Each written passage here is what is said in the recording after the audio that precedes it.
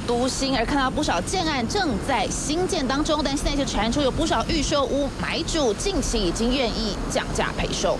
房仲调查发现，像是这个已经接近完工的建案，年底就要交屋，当初建商预售平均开价六十八万一平，但最近却有屋主五十二万赔售。其他临近建案也传出都有类似状况，新北第一圈开始出现逃命潮。他们即使说开价六十几万，他们投资客转手的在五十五、五十六万之间，其实他们都还是有赚的，因为贷款的比例。大那个大幅的下降了，那投资客要花的本金就更多，所以他们就干脆那就去先在交屋前先卖，那回收一些现金。哎呀，现金好。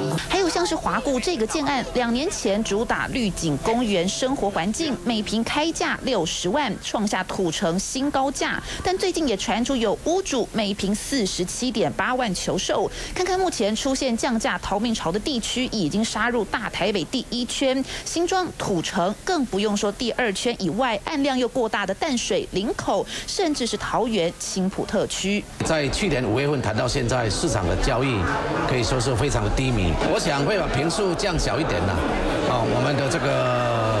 过去的这一种比较大的平数的上百平以上的，大家大概会把它降到需求型的这种客的客户。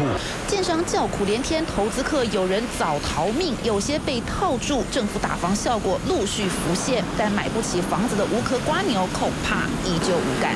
三立选林松斌下。